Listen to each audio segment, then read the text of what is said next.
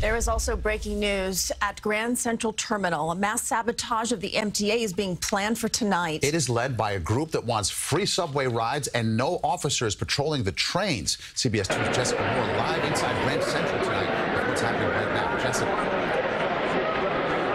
And Christine, right here at the height of rush hour, a wall of protesters behind me marching toward us, shouting, no more cops.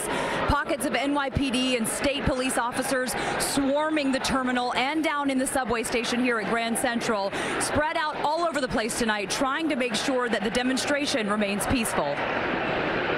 NYPD officers swarm Grand Central subway station, guarding turnstiles and standing by for tonight's planned anti-police, anti-MTA fare demonstration to all our friends, family, students. Three masked members of the protest group are seen in a Twitter video encouraging people to skip fares, damage turnstiles, and engage in a mass sabotage of the MTA, pointing followers toward a demonstration at Grand Central.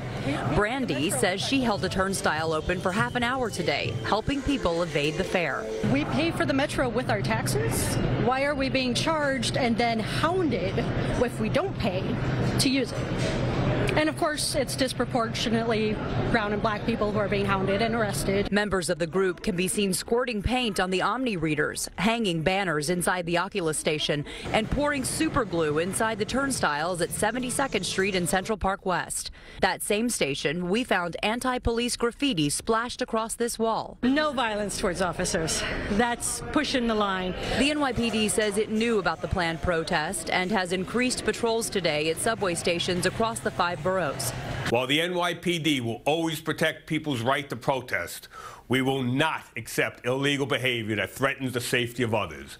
Those who break the law will be arrested. The Police Benevolent Association warned New Yorkers to pay close attention, calling this, quote, an end of all policing and the destruction of public order.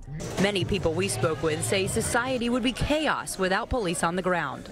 The police are here to help us. Um, you know, you, you, you can't have criminals or anyone, you know, roaming around with, you know, weapons or anything. Late today, this warning from transit officials, quote, the MTA has zero tolerance for any actions that threaten the safety of the public and our employees and impede service for millions of customers